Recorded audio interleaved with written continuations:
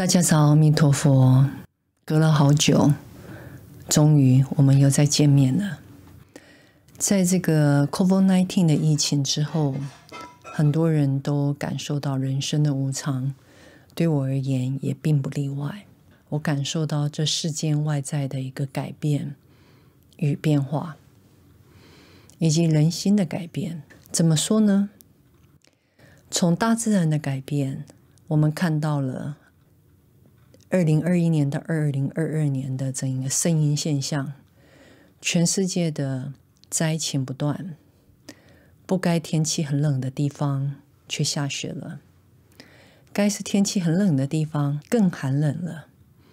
而我们加拿大就是这样，零下三十几度，连在室内打着暖气，呼吸进来的空气到肺里。都感觉是一根一根的冰刺，刺在胸口，刺在肺脏里面，而让我感受到这在户外的这些大自然的这些其他的众生们，比如动物，他们怎么去可以寻得一个可以安住的地方与食物呢？而同时，我们看到，因为这个疫情，全世界往生了。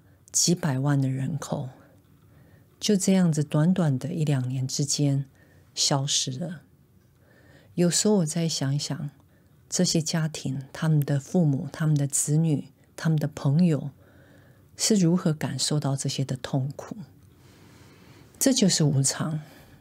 我们常常觉得无常离我们好远。我还没有到八十岁，所以我不会死。我还很健康。所以我想要到处的去玩，但事实上，人生不是照着我们的形式力在过日子的，它有太多外在变应的因素在影响着我们。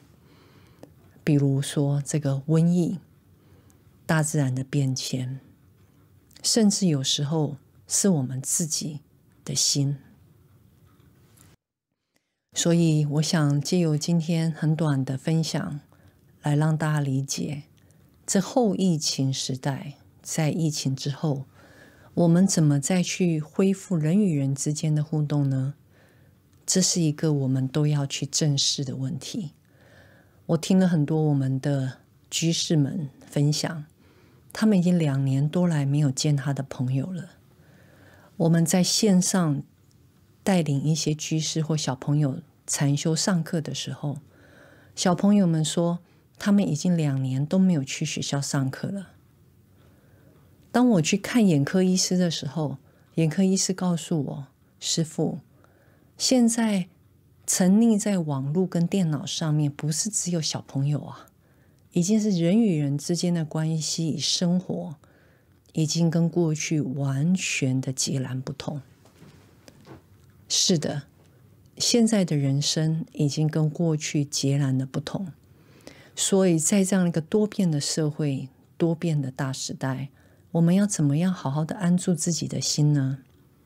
非常的简单，就是一心念佛。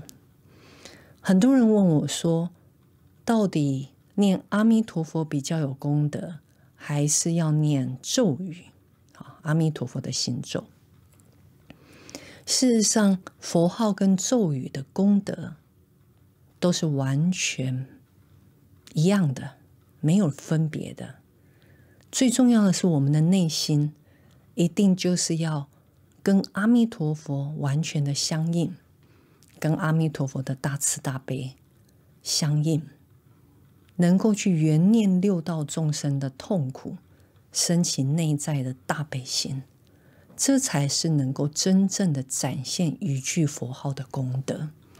如果我们带着烦恼去念佛号，如果我们带着很多的嗔恨心去持咒，这些固然有它的功德，但是相对的，我们也造作了烦恼的业因。所以，我想今天就用这个跟大家做简单的分享啊，在这个多变的时代，我们把内心安住，向佛、向法、向身啊，一心的归敬三宝。我想这就是最好的医治处，最好的皈依处。